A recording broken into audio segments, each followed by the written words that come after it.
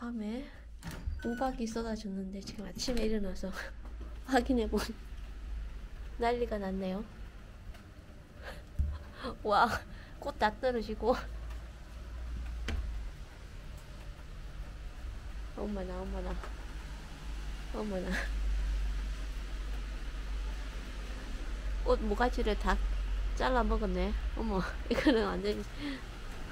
어이구, 어이구, 어이구, 어이구, 어이구. 으차.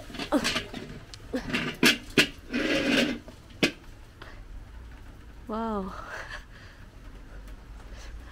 난리가 나버렸네, 정말.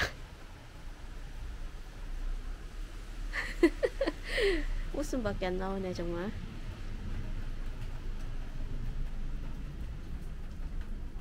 거의 지방까지. 와. 헉, 아보카도도 완전히 다 날라갔네. 헉, 어떻게 이까지 날라왔지? 어머. 꽃이 하나도 안 남았네. 살면서 이런 일도 겪는군요.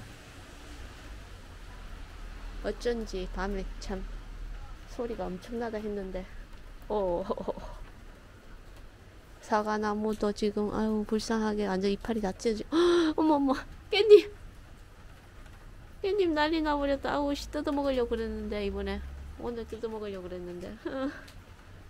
아 이런 슬프다. 깻잎이 제일 슬프네.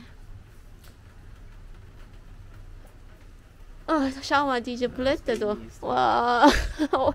Ich wollte heute Fleisch essen. Wird nichts. 트라우리가. 와, 이거 꽃 하나도 없어졌네, 정말. 살면서 이런 일도 생기네요. 처참한 현장입니다. 24년을 여기 살았나? 이런 일은 처음이네요. 현관, 발코니 문까지 창문에도 완전히 날라와서 붙어 있는 이파리들. 와우. 어떻게 반응해야 될지를 모르겠네.